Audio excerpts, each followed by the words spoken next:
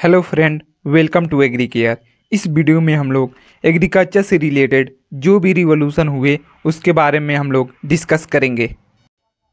तो जो पहला रिवोल्यूशन है, वो है ग्रीन रिवोल्यूशन। ये रिवोल्यूशन फ़ूड ग्रेन को बढ़ावा देने के लिए प्रयोग किया गया। नेक्स्ट है वाइट रिवोल्यूशन। ये रिवोल्यूशन मिल्क के लिए ये शब्द प्रयोग किया गया। अब है येलो रिवोल्यूशन। ये रिवोल्यूशन ऑयल सीड यानी कि जो तेल देने वाली बीज हैं, उनको बढ़ावा देने के लिए यूज़ किया गया। बात करेंगे ग्रे रिवोल्यूशन की। ये रिवोल्यूशन फर्टिलाइज़र को बढ़ावा देने के लिए ये शब्द प्रयोग किया गया। नेक्स्ट है ब्लू रिवोल्यूशन ये रिवोल्यूशन फ़िश प्रोडक्शन के लिए ये शब्द प्रयोग किया गया। अब है रेड रिवोल्यूशन ये रिवोल्यूशन टमाटर और मीट दोनों के लिए एक ही शब्द का प्रयोग किया गया।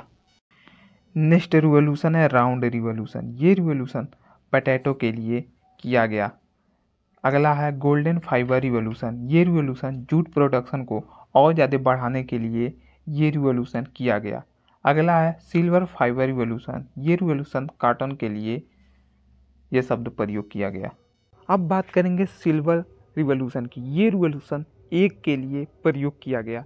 अगला है पिंक रिवोल्यूशन ये रिवोल्यूशन ओनियन प्रोडक्शन को और बढ़ाने के लिए ये रिवोल्यूशन किया गया। अगला है गोल्डन रिवोल्यूशन। ये रिवोल्यूशन हनी के लिए ये शब्द प्रयोग किया गया। अब बात करेंगे ब्राउन रिवोल्यूशन की। ये रिवोल्यूशन लेदर के लिए किया गया। अगला है ब्लैक रिवोल्यूशन। ये रिवोल्यूशन क्रूड ऑयल प्रोडक्शन को और बढ़ाने के लिए ये रिवोल्यूशन किया गया।